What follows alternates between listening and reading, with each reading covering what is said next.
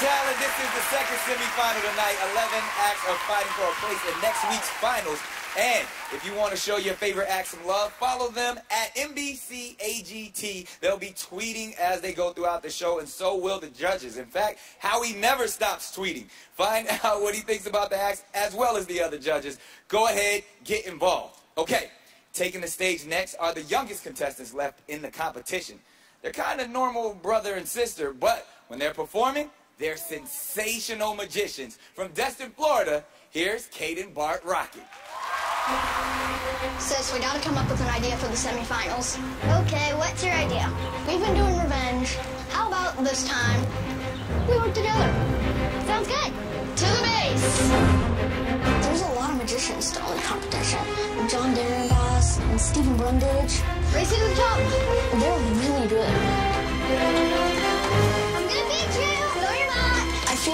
the saying two minds are better than one is true. So, this round, we're gonna try and work together. Ow. Creating magic is a complex process. It's gonna be right here. Right there. Right here. Right there. We're having to work on our teamwork skills. One. Did you get it? No, I didn't. Rabbit? I thought you were supposed to get the rabbit. No, you were. But she is very annoying. I'll take it. Lunch ready. Yes. We want to be the youngest kids ever to have a magic show in the Strip. The Kadan and Brooklyn show. I think it should be called the Brooklyn and Kadan show. Let's do it alphabetically. No. Okay. How about we do it who's the most big part of the act? Which is me, exactly.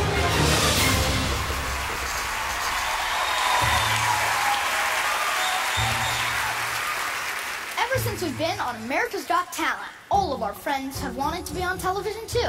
Tonight, they're gonna get their chance. America, say hello to my fifth grade class, Miss McGillicuddy's class.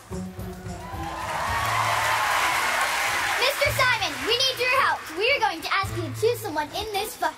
Oh, all except my teacher.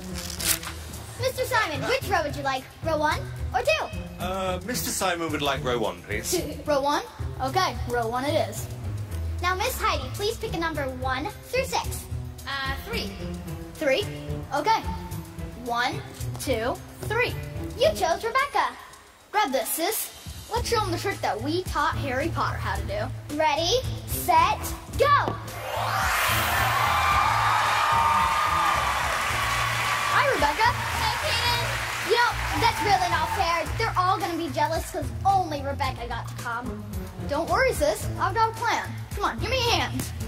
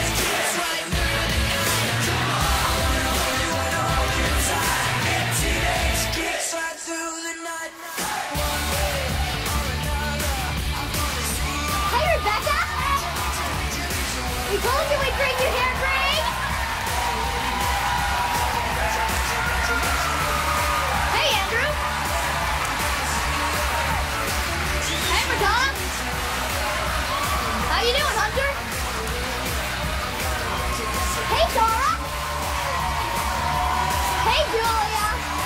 Hey, look, there's Alex. Hey, look, there's the girl. Hey, Angelica.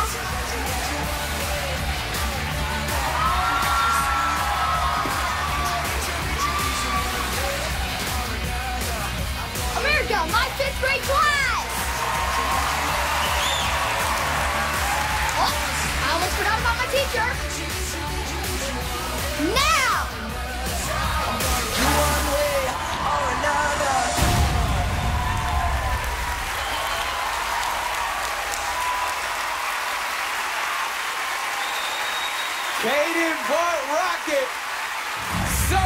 Fun. Great job, guys. Howie, talk to him. Great. Can I just say that this whole idea, the concept of you is amazing. The reason people like magic is because even as an adult, it makes us feel like a kid again, like anything's possible. So you put magic that makes us feel like a kid, done by kids, and it is super. This is amazing. I loved it. I think America will love it, and hopefully they'll vote for it. Thank you. Mel, Listen, I've got to be honest, it wasn't the slickest of performances. What? But nevertheless, you made your whole entire class and your teacher appear. And what I liked about the fact that even though the house was kind of falling apart a bit, you pushed your hand up and you carried on. Yes. That's true professionalism, right there. Heidi.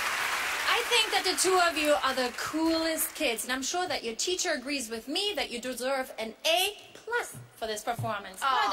Thank you. Simon. I don't know what Mel's talking about when she said it wasn't your slickest performance. You made 10 people appear out of a house from nowhere. that is quite slick, in my opinion. I also want to say something. You know what? You two are so funny, and you've turned into this great little double act. You've got fantastic showmanship. I thought it was actually your best trick. Well, actually, it's not trick, it's magic. We've had from you so far. Congratulations. All right, guys. So this time you worked together. You guys weren't attacking each other. Can we get used to that, or is it going to be back to sibling rivalry? I think we're gonna get used to that. I mean, there are some more people that I'm going against, like you with my